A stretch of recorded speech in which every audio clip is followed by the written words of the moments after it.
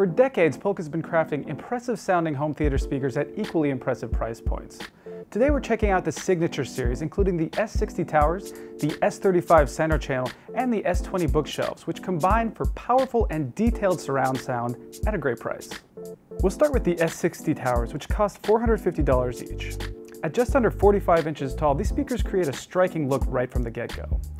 While we would have obviously preferred wood veneer to the S60's vinyl wrappings, these speakers give the impression of quality from a glance right down to the stout aluminum stands at the base. Slipping off the magnetic grills reveals the secret weapon of the Signature series, the new Terylene 1-inch dome tweeter. A picture of each of the speakers in the series, the new tweeter is designed to offer high-frequency extension up to 40 kHz for high-res audio and a wider sweet spot. Below that are three 6.5 inch polypropylene cones which offer plenty of power and poise from the mid-range down, as well as Polk's PowerPort technology at the base of the tower, designed for, you guessed it, richer bass extension. The S20 bookshelves are much like a miniature clone of the S60, boasting both a Terylene tweeter and a single 6.5 inch polypropylene woofer, as well as these plastic molds at the back that connect to the bass reflex ports for that same PowerPort technology. Finally, we have the S35, which at just over 4 inches tall has a much slimmer profile than most other center channel speakers, including Polk's own step-down model, the S30. Looking more like a soundbar than a center speaker, the S35 features six 3-inch drivers flanking the Terylene tweeter, and still offers plenty of oomph thanks in part, no doubt, to its own PowerPort tech at the backside. All of the speakers feature magnetic grills and connect with 5-way binding posts, including a bonus pair on the S60 for biamping.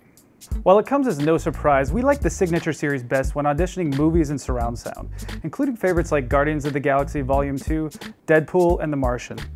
The system is immediately impressive in its clarity and presence, especially in the mid-range of treble, where the speakers offer rich and present vocal reproduction and pull out the little details in dialogue and cinematic effects with ease. Just as importantly, the speakers are also extremely well matched, tossing swirling surround sound effects around the room brilliantly to immerse you in sound. When put under the microscope individually, the speakers do have their quirks, including some extra boom in the lower register for the S35 center channel, and some extra sharpness in the upper mid-range, especially present in the S60 towers. This is most evident when listening to music, especially in light productions like Fleetwood Mac's The Chain, where acoustic guitar comes off a bit too clicky and bright for our taste. This was more or less a trend for acoustic instruments, where the organic flavors became a bit synthetic and sharp at times. Those quibbles aside, the Signature Series speakers are impressive for the price, and we had plenty of fun with their penchant for power and clarity, including a great rendition of the Beatles' Love soundtrack in 5.1 surround. While not without their quirks, Polk's Signature Series speakers offer great detail and impressively immersive surround sound on a budget.